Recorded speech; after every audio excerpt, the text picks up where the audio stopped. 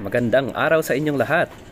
Welcome kayo sa aking YouTube channel na AG Woodworks and Construction. Ang layunin ng channel na ito ay para magbigay ng mga tips at tutorial sa woodworking at construction.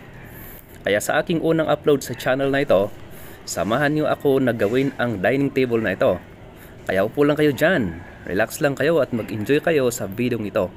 Kaya wag na nating patatagalin, gawin na natin agad. Ito ang kahoy na gagamitin natin. Ang kahoy na yan ay uh, pilipit, kaya kailangan ko pang i-level yung makabilang dulo para maituwid yung kahoy na yan. Pagkatapos ay pinitikan ko yung side ng board para meron akong guide kapag kakatamin ko na ito.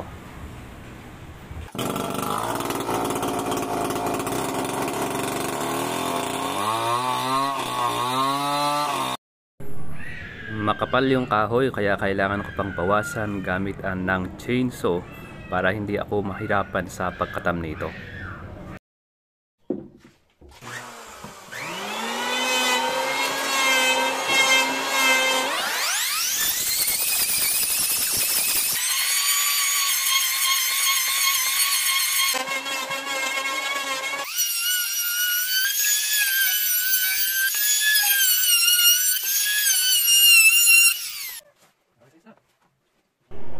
Ito na, tapos na ako sa pagkakatam. Nakatam ko ito sa loob ng limang oras. At ready ready na para bagdugtungin ito. Kaya nilagyan ko muna siya ng glue.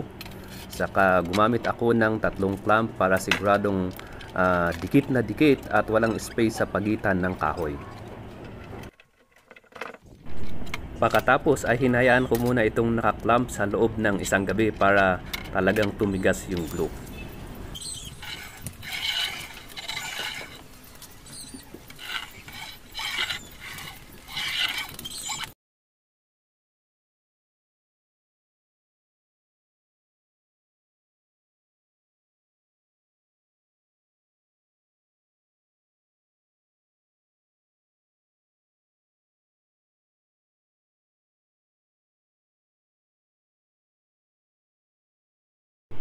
Patapos na ako sa pag-ublong sa table na ito at ang susunod ay i-finish ko naman yung gilid niya. Kaya ang gamit ko dyan ay spoke shave. Ito ay isang maliit na katam na pangkinis sa kahoy.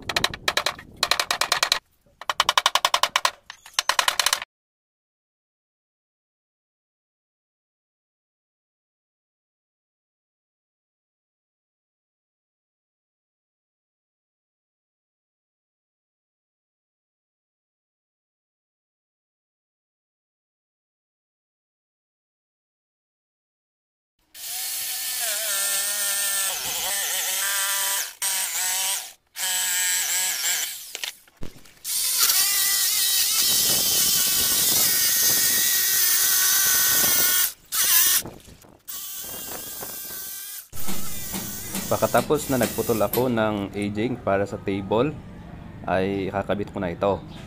Kaya kung makikita nyo yung kahoy na pinutol ko pang aging ay kulay brown.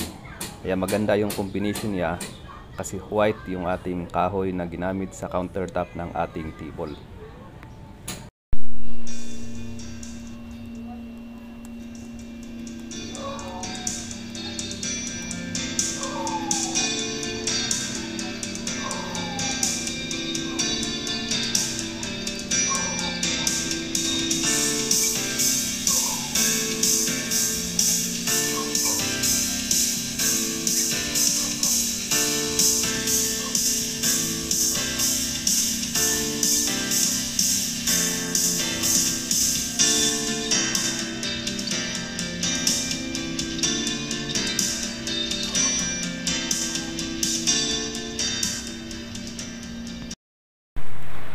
Pagkatapos na inilagay ko yung aging ng ating table ay nagputol naman ako ng dalawang 6x6 para sa pusti nito. At uh, dadalhin ko ito sa mga nagtuturno dahil wala akong turnuhan.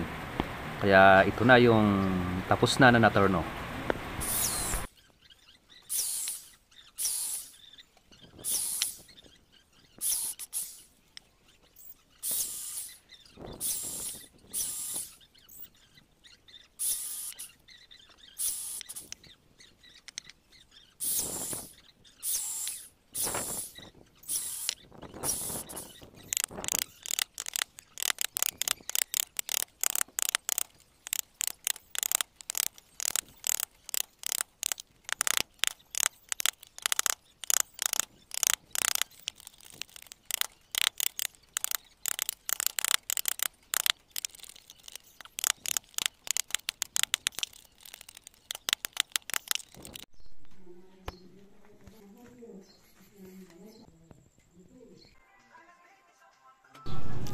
Gagawa naman tayo ng pinakapaa ng ating table. Kaya gagawa tayo ng apat na ganyan.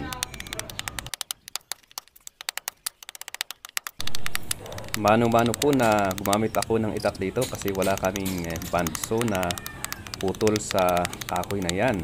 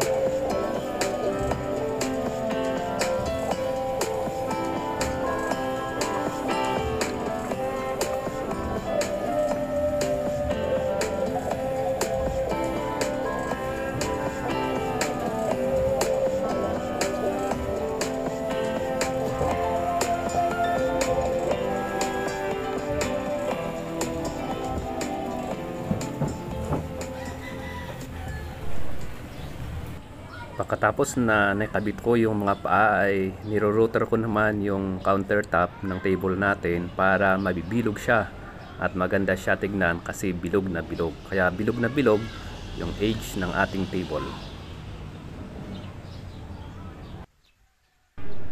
Yon ito. Ito na siya kaya kung makikita niyo ay bilog yung edge ng ating table kaya maganda siya tignan. At ready naman ito for varnish. Una, inaplayan ko muna siya ng Hudson na sanding sealer, dalawang patong para uh, talagang lilitaw yung kulay ng kahoy. Ano. Pagkatapos nito ay uh, pagkatapos ng dalawang coat ay inaplayan ko naman siya ng Hudson din na polyurethane na top coat. Ano. Maganda yung varnish na ito kasi talagang napakatibay ito. Kaya may recommend ko itong uh, polyurethane na Hudson varnish.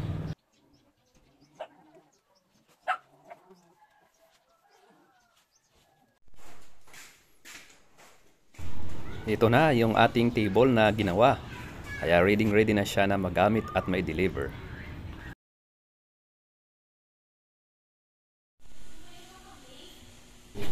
Sa susunod na upload Abangan ninyo kung paano ginawa ang office table na ito. Kaya pwede kayong mag-subscribe at i-click ang notification bell para lagi kayong updated sa mga bagong video.